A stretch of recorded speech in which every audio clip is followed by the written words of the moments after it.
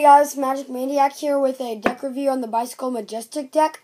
And yeah, let's get straight into it. So, it says Bicycle on the front, has a giant spade pip with a circle.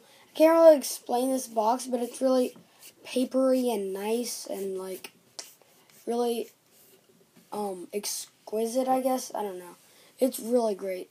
Um the side says Bicycle 100 uh 28 years edition. Um, the bottom just has some copyright info. Other side um, says the same thing. Oh wait, no, it doesn't. Sorry, wrong side. Um, the United States Playing Card Company and their address.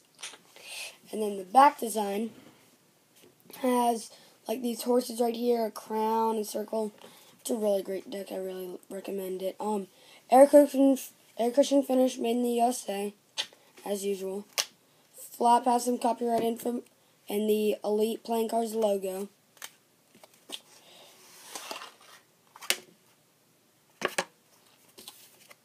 Um, alright, so, there are two jokers in this deck, as usual.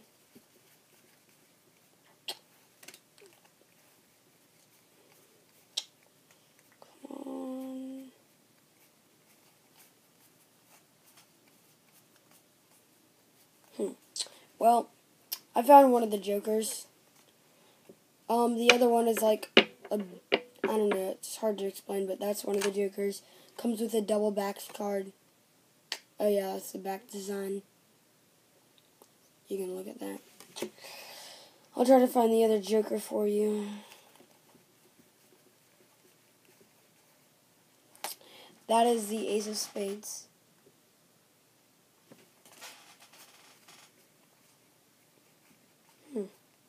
Oh, here it is.